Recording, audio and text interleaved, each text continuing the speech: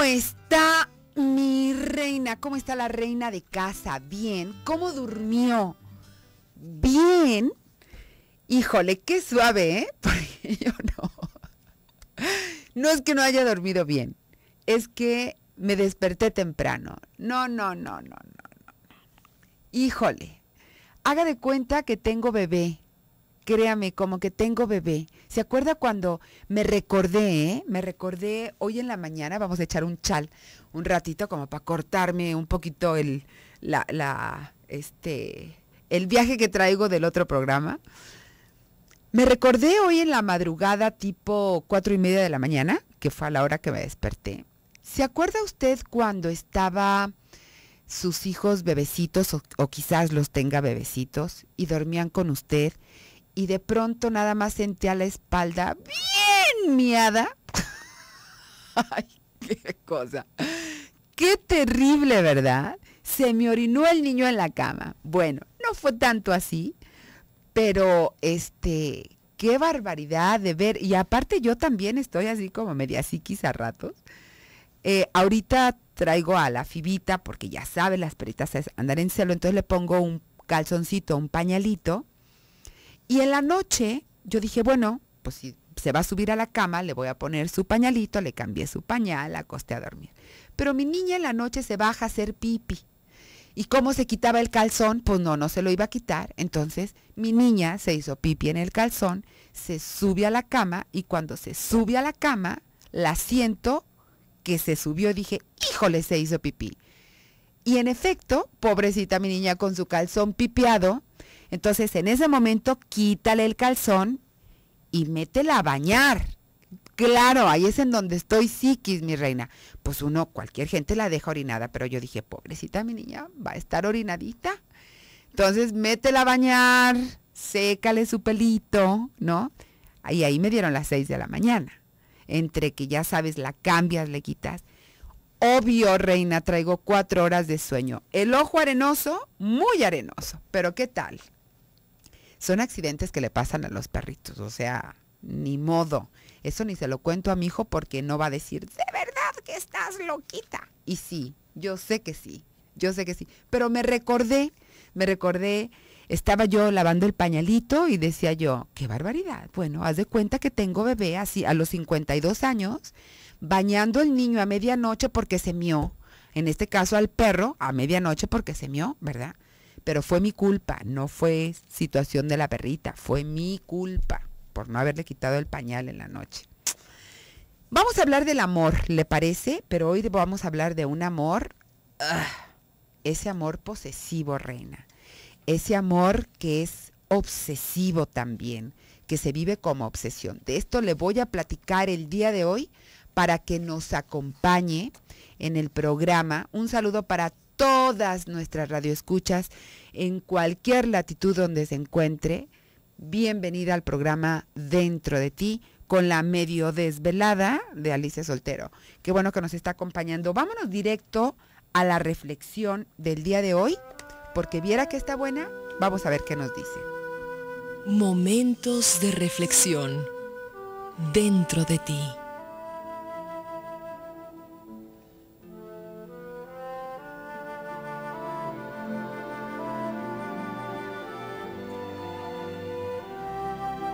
El amor nunca tiene una muerte natural. Muere de ceguera, de errores, de traiciones. Muere de cansancio, marchitamiento y deslustre. Anaís Nin.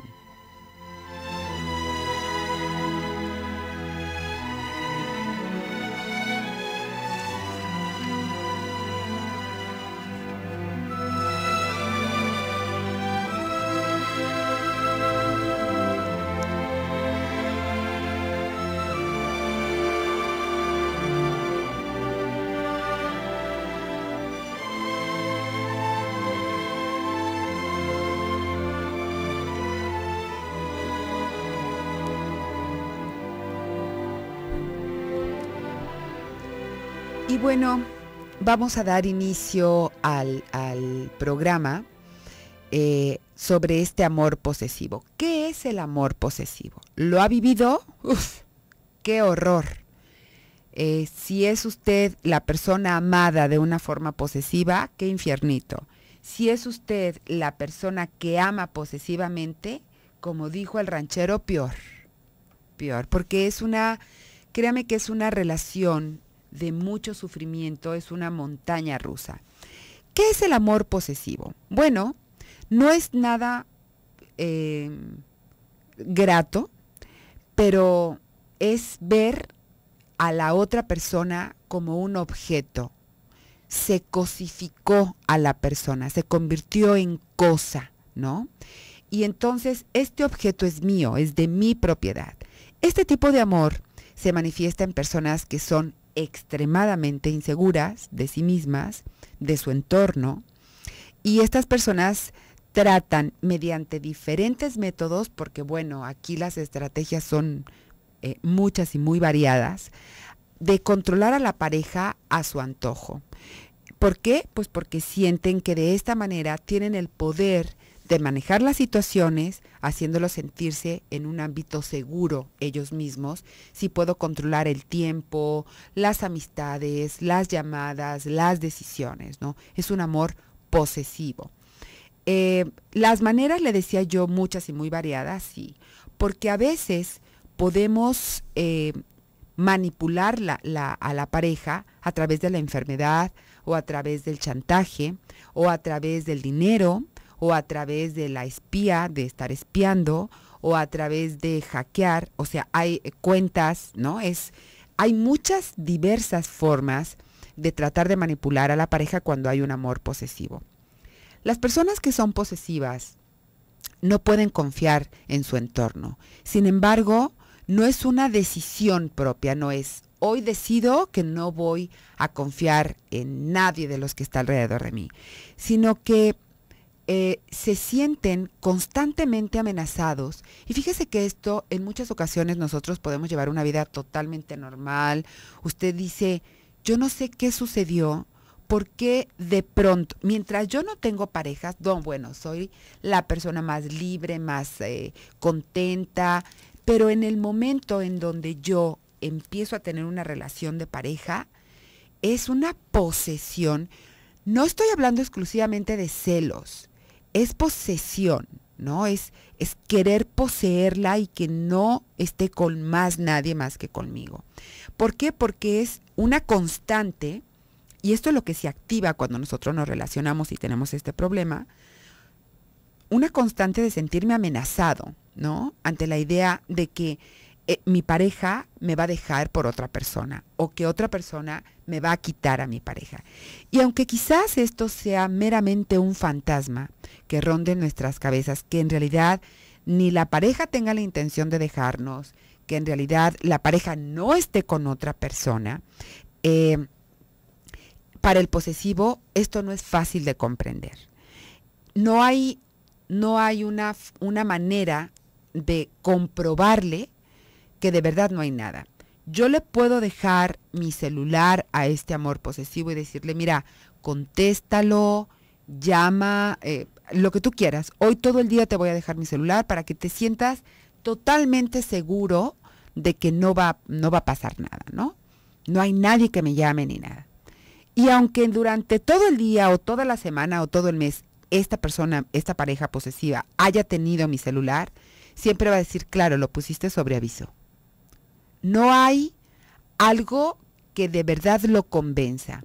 O le dices, bueno, revisa mi celular. Me lo llevo yo y revisa mi celular para que veas. Claro, borraste todos los mensajes o borraste todas las llamadas, ¿no? Yo a la fecha no sé cómo se borran, pero, pero muchas personas es, no es, nada es suficiente para comprobarle.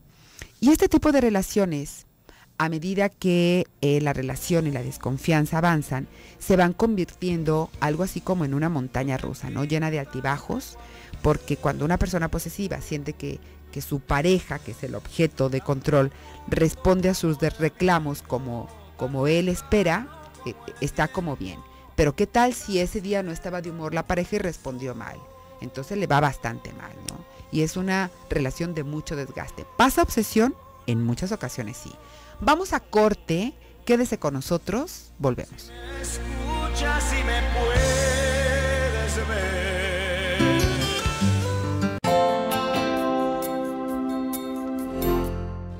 Lo nuestro terminó. de este amor posesivo. Las relaciones posesivas, si no terminan porque el sumiso se siente ahogado y llega al punto del hartazgo, se convierten en relaciones enfermizas, muy enfermizas. ¿Por qué? Porque el posesivo, créame que no le interesa si su pareja le da o no motivos para sentirse seguro. Porque no importa, le decía yo hace un momentito, todo lo que usted haga para que él se sienta seguro o ella se sienta seguro, no, no, no va a pasar, ¿no? Simple y sencillamente no va a pasar. El posesivo necesita controlar todo lo que ocurre a su alrededor, todo, y muchas veces no son capaces de darse cuenta de que por obligar a alguien a comportarse de tal o cual manera, esta persona termina por hartarse, ¿no? Porque tú no me quieres a mí, tú quieres a un robotito que puedas manejar. Y entonces cuando esto termina con un amor posesivo, una pareja posesiva, lo más seguro es que esto se convierta en una obsesión, Porque el primer síntoma de una obsesión es la posesión y entonces se convierta en una obsesión. Mire, amar a alguien es una emoción humana que de verdad yo creo y estoy convencida, no, no creo, que puede ayudar a que las, la otra persona, la que se siente amada, se reconcilie con la vida. Cuando nosotros nos vivimos amados, nos reconciliamos con la vida, Y puede producirnos un cambio en la percepción y de, de lo que estamos viviendo, porque vivirnos en amor es un poder maravilloso, ¿no? Es muy diferente una persona que se vive en amor a una persona que se vive en odio, a una persona que se vive en miedo, a una persona que se vive en rencor. O sea, es diferente a una persona que se vive en soledad. Si es una soledad por convicción, puede vivir una soledad en amor. Pero si es una soledad por consecuencia, por circunstancias, más que por convicción, entonces, bueno, por supuesto que no se va a vivir en amor. Se puede vivir en amor en soledad. Eso, créame, y vamos a tener un programa aquí sobre la soledad para todas aquellas personas que no tienen pareja en este 14 de febrero, que podría ser un, una verdadera tragedia, pero cuando es por convicción, cuando es una decisión tomada, se vive en soledad, pero desde el amor, ¿no? Pero también hay personas que creen amar porque eh, sienten que eh, están protegiendo a la otra, eh, están cuidando a la otra o al otro, están muy al pendiente de lo que les pasa, pero no es tanto por el amor. Ayer yo le hablaba sobre los ingredientes del amor, que era eh, la intimidad, la atracción, el compromiso, pero no es tanto por amor, por lo que te cuido, es más bien por control. Y entonces aquí es cuando decimos, a ver, aquí hay algo que no es tan libre, que hay como cierta posesión y que puede ser muy cruel hasta el punto de poner en peligro la relación, pero sobre todo, ¿sabe qué? La vida de las personas que están en esa relación. El falso amor, cuando es posesión, porque eso no es amor, se puede convertir en obsesión, ¿no? Y quiénes son más propensos a convertir este amor entrecomillado en obsesión. Las personas con personalidades depresivas, ¿no? Que tienden a relacionarse con los otros de manera simbiótica o de manera fusional. ¿Qué significa esto? Una persona que se fusiona es no puedo vivir sin él, no me imagino la vida sin él. Una persona que se fusiona de forma simbiótica dice, me da miedo estar sin esta persona, no sé cómo le voy a hacer, pero este, pero claro que voy a seguir viviendo. La persona que se fusiona dicen, es que me muero.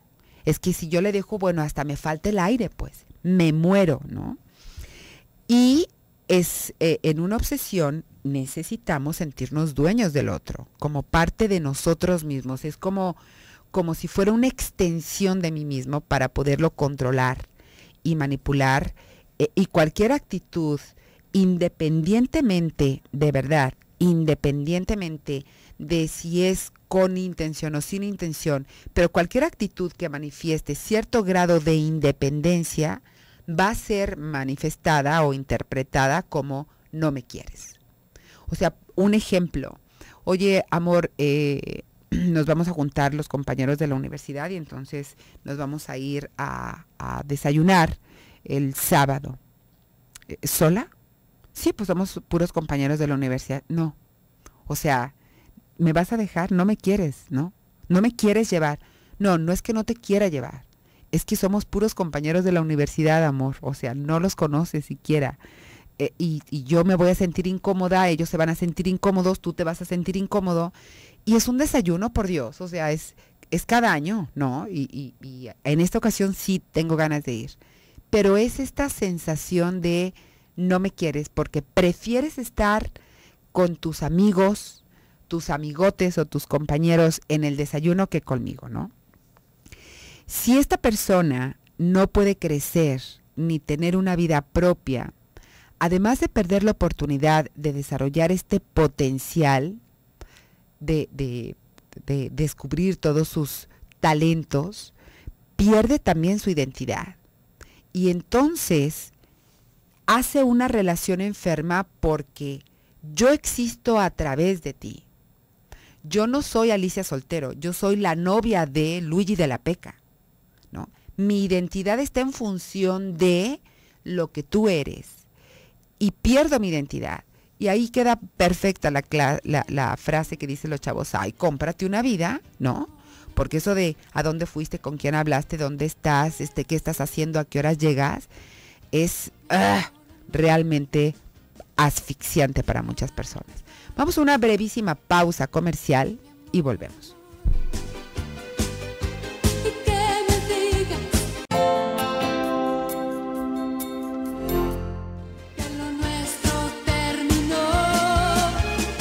Los amores obsesivos. Fíjese que eh, podemos hablar desde el lugar de la víctima y también podemos hablar desde el lugar del obsesivo. Que la verdad yo no sé quién sufre más. Si la víctima de un amor obsesivo o el obsesivo. Porque ahí es, es una relación que genera muchísimo sufrimiento, ¿no? Eh, le decía yo, el perfil, ¿cuándo yo puedo desarrollar un amor obsesivo? Bueno, el primer grado es la posesión. Ser una persona posesiva con los hijos, con, con el marido, con, ¿sí? con los padres, con ser una persona posesiva lo puede llevar, lo puede conducir en un grado más elevado a un amor obsesivo. Y estas personalidades eh, son más bien depresivas, no tienden a la depresión. ¿Cuál es el origen? ¿Por qué? Bueno, desde un aspecto psicoanalítico, quiero decirle que eh, al principio nosotros cuando somos bebecitos no tenemos la diferenciación del yo y no yo. El yo y no yo eh, no existe, o sea, mi mamá y yo somos lo mismo. Yo soy lo mismo que mi mamá. Mi mamá es mi, eh, soy yo y yo soy mi mamá. Pero gracias a los límites que va poniendo la mamá, a la introducción del padre en esta diada, el niño va o la niña va aprendiendo que, pues, que, que que crees que no, que tú no eres tu mamá, que tú eres tú, tu mamá es tu mamá, y también hay un papá, hay un tercero en cuestión. Y entonces en un principio el niño dice, ok, pero esta mamá es mía. No soy mi mamá, pero esta mamá es mía. ¿Por qué? Porque cuando yo tengo hambre, mamá me da. Cuando yo tengo frío, mamá me cobija. Entonces, esta mamá es mía. No puede ser de nadie más. Y entonces como que la poseo, ¿no? Eh, pero luego viene papá y dice, no, ¿qué crees, hijo? Que esta mujer no es tuya. Tú vas a tener tu mujer. Esta mujer es mi mujer. Y estamos papá y mamá para cuidarte. Y si tú tienes frío, está papá y mamá para calentarte. Y si tienes hambre, está papá y mamá para alimentarte. Pero esta mujer no es tuya. Esta mujer es mía. Esto es lo que se le llama el complejo de Edipo. A veces algunas mujeres y algunos hombres, que es diferente la manera de resolverlo, dentro de psicoanálisis dicen, por ejemplo, que el hombre nunca resuelve el complejo de Edipo y que la mujer hasta que tiene hijos y un marido parece como que lo resuelve, ¿no? Pero bueno, los psicoanalistas son los, desde tu mirada, ellos les saben decir mucho más eh, de esto que yo. Pero cuando este no está bien elaborado, este proceso de crecimiento no está bien elaborado, me quedo yo con que esto es mío, esta mamá es mía. Y entonces me relaciono. ¿Por qué? Porque hubo una fractura ahí. Probablemente la mamá no lo separó en su tiempo, o probablemente, y le alimentó esta posesión, o probablemente primero estaba súper pegada y después la mamá lo soltó porque tuvo ya otra pareja, porque llegó otro bebé, porque y no hubo una separación adecuada. Entonces, el niño o la niña van a querer nuevamente cada vez que hay un objeto amoroso, una pareja, se van a obsesionar con él porque esto es mío, ¿no? No hay una diferenciación entre el yo y no yo. Es decir, yo sin él o sin ella me muero. El problema es que eh, la víctima eh, de, un amor obsesivo va a decodificar la obsesión del otro como amor. Y, y, a veces como que estamos en este juego. Yo siempre he dicho, en los asuntos de la relación, nunca hay una víctima y un victimario. Somos cómplices. Porque si yo estoy con una persona obsesiva y me controla y yo interpreto este control como qué bárbaro, cómo me ama, y si no, piénsele un poquito, reina. Cuando usted tiene una pareja que no es celosa, usted no se siente amada. ¿No? Dice, mi marido no es nada celoso, nada celoso, pero nada. O sea, como que no le importa, ¿no? Y, y lo que pasa es que hemos traducido el control, el celo, la posesión, la obsesión con amor. Por lo tanto, pues siempre hay un roto para un descosido, ¿no? Eh, yo me voy a relacionar con una persona así porque creo al principio que esa posesión me hace sentir muy amada hasta el momento que me asfixia. Pero el momento de asfixia llega después de mucho tiempo después y del grado de eh, posesión del otro. Entonces, ¿qué es lo que sucede? que yo le voy alimentando al obsesivo en muchas ocasiones la patología, ¿no? Por eso le digo, nos encontramos. El que entra en amores obsesivos, por lo general, repite este tipo de vínculo con quien se relacione. Si, si es con amigos, y, por parte de los dos lados, ¿eh? Por ejemplo, vamos a pensar en un obsesivo ya le dije como pareja, pero como amigo es igual. Como amigo habla 500 veces, manda 300 WhatsApp hasta que le contesta. Cuando a lo mejor en ese momento no le puede contestar. Y es posesivo y es obsesivo con los amigos. Con los hermanos es lo mismo, es si te juntas con él, no te juntes conmigo, por ejemplo. Esto lo va a extender con los papás, ¿no? Con las parejas, con los hijos. O sea, no crea que nada más es con usted, es con todo. Y ahí le va un tip. Son personas que hablan mucho del mí. Les cuesta mucho trabajo hablar en plural. Por ejemplo, no es nuestra casa, es mi casa. Es mi mujer. Es mi coche. Es mi hijo.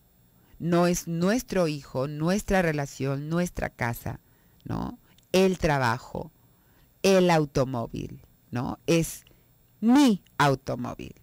Eh, entonces, no se trata de, de, que aquí solamente sea una persona la que le produce la obsesión. Es su, es su patrón de relación, ¿de acuerdo? Vamos a salir a una brevísima pausa comercial. Le recuerdo que el 15 de febrero vamos a tener el taller de la feromona en el instituto para que se inscriba. Y aquí en el programa estamos regalando dos becas. Puede comunicarse vía telefónica aquí al programa para anotarse para la beca o bien puede reservar su lugar allá en el instituto. 3344 5866. Vamos a corte y volvemos.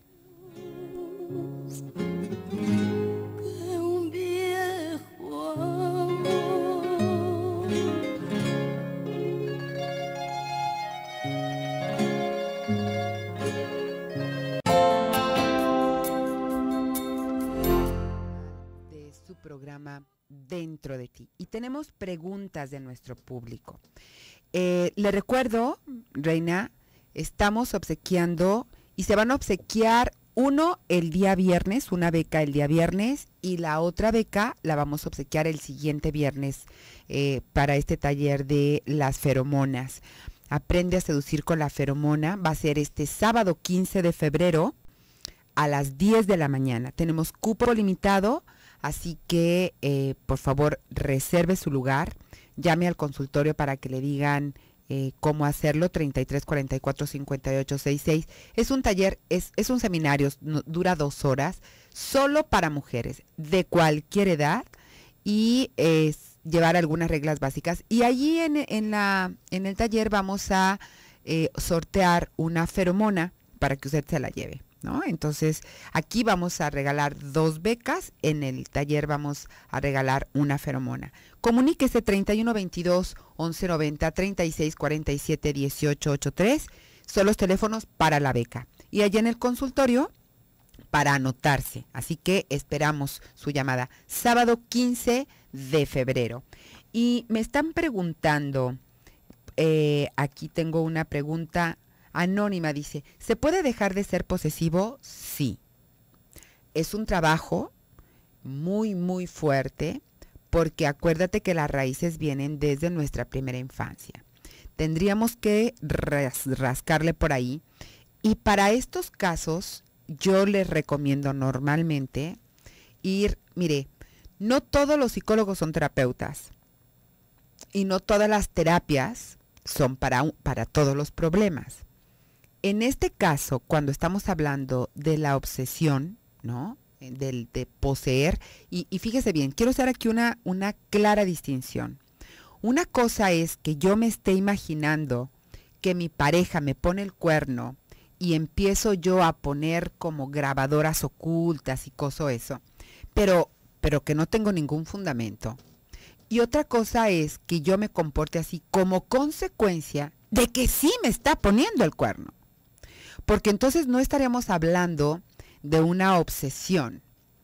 Estaríamos hablando de un comportamiento hasta cierto punto, no le estoy hablando que es normal, hasta cierto punto normal, hasta cierto punto, porque tengo la duda. El problema es que cuando yo ya lo comprobé, que sí me está poniendo el cuerno, mi obsesión sea por quedarme ahí. Ahí sí es cuando decimos, oh, oh, ahí ya hay un problema. Pero si yo, mientras el proceso de descubrirlo, hago todo esto, digo, no se justifica, no, no, no es como, ah, pues sí, es que así, así lo tiene que hacer toda la gente. No. Pero si es solamente para salir de la duda. Pero una vez que lo compruebo, me mantengo en esa relación, entonces sí estaríamos hablando de un problema. ¿Que va a costar trabajo separarnos? Sí, sí va a costar trabajo separarnos. Eh, ¿Por qué? Porque hay muchas cosas. Está la dignidad, está el ego, está el orgullo, está el apego, hay muchísima, está el tiempo, tiene mucho que ver el tiempo. Hay parejas que tienen más tiempo juntas que solas. Por ejemplo, si empezamos nuestra relación cuando teníamos 16 años y ahorita yo tenemos 40, pues cáchele que nada más tienen 24 años juntos. Mucho más tiempo que el tiempo que pudieron permanecer solteros o solos, ¿no? Esto cuesta mucho más trabajo porque se ha construido una identidad alrededor de la relación de pareja. Pero no por eso voy a quedarme en una relación que no funciona, ¿no? Eh, pero le, comentaba yo, si este es su caso, si usted está, eh, ha notado que en cada relación está como muy obsesionado o muy obsesionada, que eh, de veras con los amigos, en el trabajo, con los hermanos, inmediatamente se activa la obsesión, yo aquí sí recomiendo mucho más. Y, y de hecho, créame que lo remito con una, eh, a una terapia psicoanalítica. Creo que es mucho más práctica, mucho más funcional que una terapia gestal o una terapia conductual o una terapia de desarrollo humano. Esto que, tiene sus raíces ahí en nuestra primera infancia, creo que el mejor tratamiento es con un psicoanalista. Y aquí, en la estación, ¿Qué quiere? Aquí tenemos de todo, decimos, ¿no? Nuestros compañeros que están en, en el programa Desde tu mirada son psicoanalistas y creo que ahí sería más adecuado, sobre todo en estos casos, Anita. Y luego eh, dice, déjame ver si este ya lo leí. No, este es, esta es de- del otro programa. Déjame ver por aquí tengo, aquí tenía yo una pregunta, una pregunta sobre el amor obsesivo. Mm. Ya, ya les dije, ¿verdad? No, Lili, no tienes que hacer ninguna reservación, basta con que llegues temprano ahí al, al, eh, progra- al evento. Y me dice en, en el- lo que posteé el día de ayer eh, sobre los ingredientes mágicos del amor, atracción, intimidad y compromiso. Y alguien me pone, claro, el tercero es el más difícil. Por supuesto, porque mientras no nos comprometemos, nada pasa. ¿Sí? Nada pasa. Ahora, como para cerrar este amor obsesivo, ¿cómo podemos evitar estos errores que asfixian al amor? Número uno, confundir de verdad amar con ser amado. Eso de buscar la media naranja, no existen medias naranjas. O sea, nosotros somos seres completos y nos vamos a complementar en algunas cosas y en algunas otras cosas vamos a poder ser a- este, acuerdos, ¿no? Pero eh, lo que tú hagas no mide qué tanto amor siento, sientes por mí o no, ¿no? Tener un apego excesivo hacia el otro es uno de los errores más comunes que de verdad destruyen una relación porque son fallos que pueden hacer que, pueden surgir y que eh, de alguna manera el amor no va a prosperar ahí. La, yo creo que la reflexión del día de hoy este, es, va muy ad hoc con lo que estamos platicando, ¿no? Si usted quiere que su relación prospere, trabaje en los apegos, no se confunda entre amor y obsesión, no es, no se obsesione con el amor. Una obsesión no es amor, como tampoco lo es la pasión, eh, como tampoco lo es la intimidad. Este, el amor va mucho más allá de eso, ¿no? Buscar a la media naranja para complementarse, no, tampoco. Usted es un ser completo. Por eso le decía yo, la reflexión de hoy eh, dice, el amor nunca tiene una muerte natural, porque el amor no muere, lo matamos. El amor no muere, no es así como, ah, pues caducó, no, lo matamos. Muere de ceguera, muere de errores y de traiciones, muere de cansancio, de marchitamiento y de deslustre. Así es como muere el amor. Mientras menos apego tengamos, más libres nos vamos a sentir para amar. Y mientras menos me demandes, más ganas me dan de estar contigo. A mayor demanda, menos deseo de permanecer a tu lado. Esto es una realidad. Así que, hey, cuidado con eso, ¿sí? Otro eh, fallo muy eh, presente en las relaciones es el hecho de buscar a la media naranja. Y entonces como se parece, como dice la canción, no es perfecta, pero se acerca a lo que casi siempre soñé. Entonces trato como de componerlo. Y en el amor, en el amor, el asunto no es componer al otro o construir al otro. El asunto es reconocer al otro y aceptar al otro.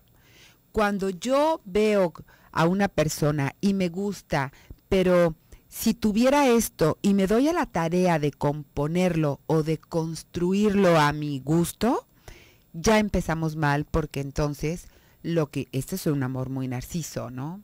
Lo que yo quiero es el producto de mi imaginación, más que a la persona tal cual la tengo enfrente, ¿no? Y cuando esto sucede, lo único que hacemos es estar desgastando la relación. ¿Sabe por qué? Porque todos somos como somos. Pero así como somos, siempre va a haber alguien para mí, alguien que me pueda amar así como soy. Y así como usted se ve, así con todos sus fallos y con todos sus aciertos, hay en este mundo una persona que la va a amar así como es, sin modificación al contrato. es cuestión simple y sencillamente de abrir los ojos y esperar, ¿no? Porque nada pasa ni antes ni después de tiempo. Todo pasa en el momento perfecto. Muchísimas gracias por el favor, su atención. Gracias, Toñito, Claudia, Brenda, César, asistente de producción. A usted por habernos acompañado. Yo soy Alicia Soltero. Hasta mañana.